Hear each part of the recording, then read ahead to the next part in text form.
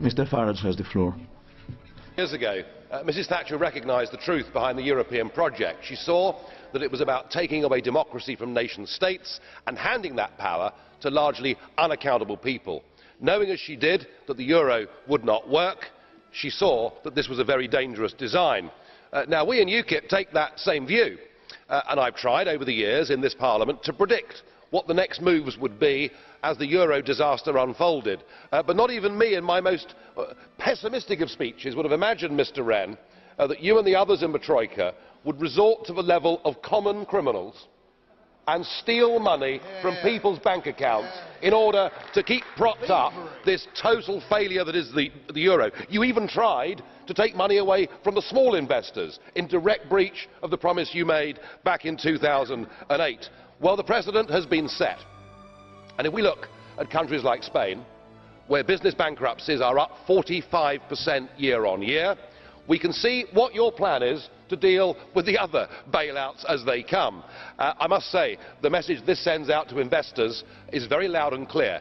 Get your money out of the Eurozone before they come for you. What you have done in Cyprus is you, have actually sounded the death knell of the euro. Nobody in the international community will have confidence in leaving their money there. And how ironic to see the Russian Prime Minister, Dmitry Medvedev, uh, compare your actions and say, I can only compare it to some of the decisions taken by the Soviet authorities.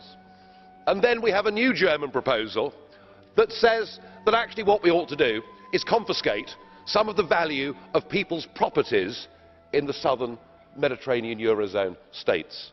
Uh, this European Union is the new communism. It is power without limits. It is creating a tide of human misery and the sooner it is swept away the better.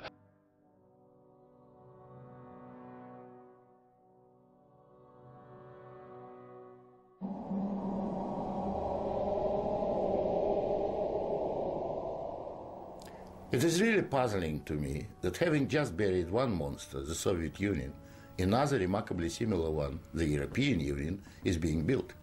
Exactly what is the European Union? Perhaps by examining the Soviet version, we can get the answer.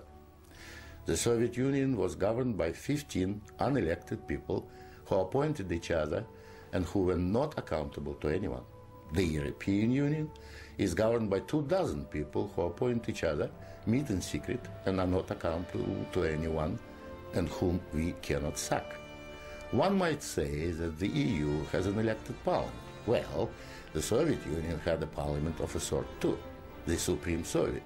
We just rubber stamp the Politburo decisions, pretty much like the European Parliament does, where speaking time in the chamber is limited within each group and often amounts to one minute per, per speaker.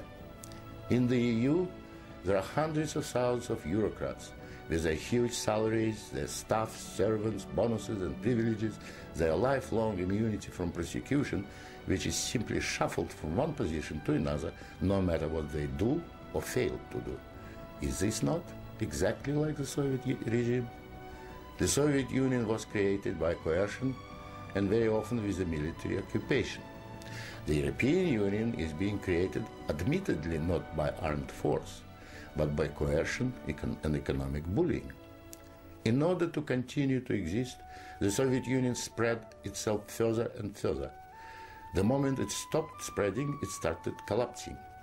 And I suspect the same is true of the European Union. We were told that the purpose of the Soviet Union was to create a new historic entity, the Soviet people, and that we must forget our nationalities, our ethnic traditions and customs. The same seems to be true of the European Union. They don't want you to be British or French.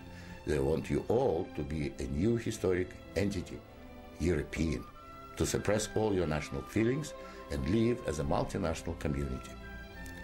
After 73 years, the same system in the Soviet Union resulted in more ethnic conflict than anywhere in the world.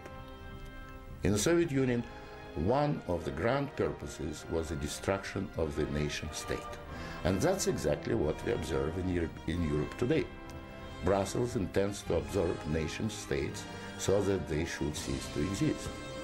Corruption was built into the Soviet system from top, to, uh, to, from top down, And so it is in the EU.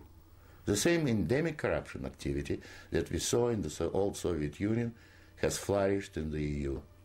Those who oppose or expose it are silenced or punished. Nothing changes. In the Soviet Union, we had a gulag. I think we have a gulag in the European Union also, also an intellectual gulag known as political correctness.